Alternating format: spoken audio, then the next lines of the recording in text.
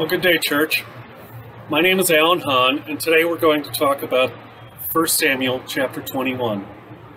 In this chapter, David is fleeing King Saul, who is trying to kill him out of jealousy.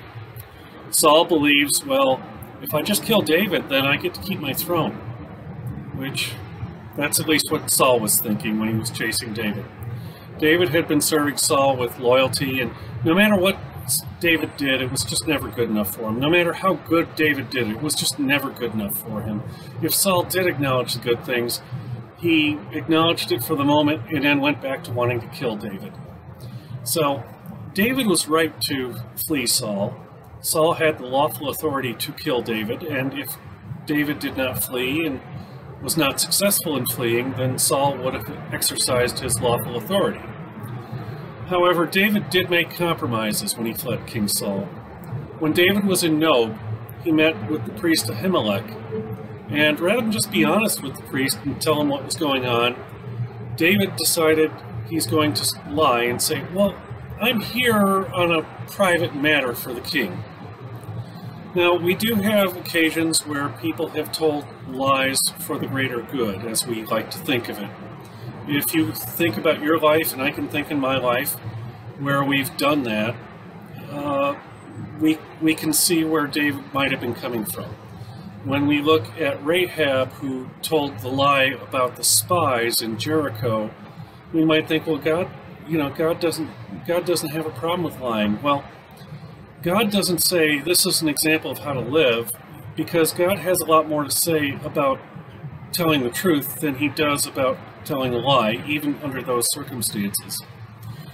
Uh, as a retired law enforcement officer, I can tell you I've had countless people in front of me who said, oh, no, no, no, I didn't have anything to do with that, I didn't do it. And it turned out that they did. And those, those lies came with consequences. When Vince McMahon admitted what everybody knew, which was that professional wrestling is scripted, he was busted in a lie. And those lies, we can smile about those lies, but they do come with consequences.